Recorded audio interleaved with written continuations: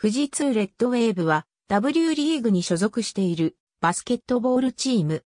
母体企業は富士通で、活動拠点は神奈川県川崎市。ホームゲームは川崎市中原区の轟アリーナなどで開催。練習場は中原区の富士通川崎工場にある。1985年に創部し、関東実業団4部リーグに参加。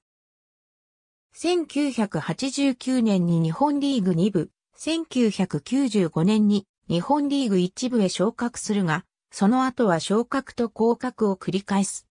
1999年の W リーグ発足の際は、下部リーグの W1 リーグ所属となり、2001年には、シャンソン化粧品で活躍した元韓国代表のリ・タマジがヘッドコーチに就任し、このシーズンの W1 リーグで優勝。2002年から W リーグに復帰し定着。2004年9月には川崎市ホームタウンスポーツ推進パートナーに認定され、ユニフォーム短パンに川崎と入れプレー。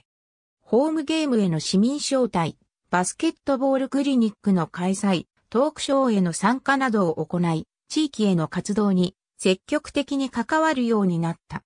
この年には、シャンソンの強豪化に導いた中川文一をヘッドコーチに迎え、翌年にはジョモから矢野良子が移籍。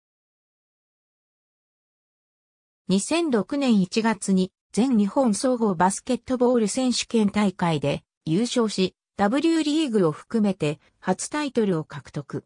翌2007年1月、2008年1月の同大会にも優勝し、3連覇を果たした。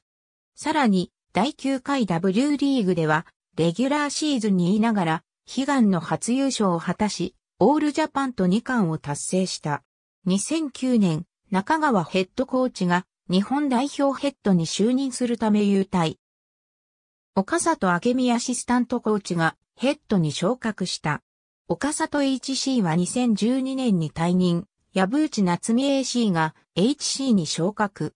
2014年、藪内 HC が退任、前年からアソシエイトコーチに就任していた BT テーブスが HC に就任。現在は2軍チームも存在し、神奈川県実業団連盟に所属している。全国タイトルは計4回。マスコットは海鷲がモチーフのレッディ。名前の由来はレッドとレディー2号。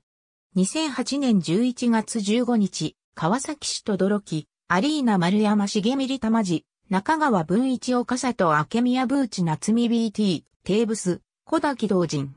ありがとうございます。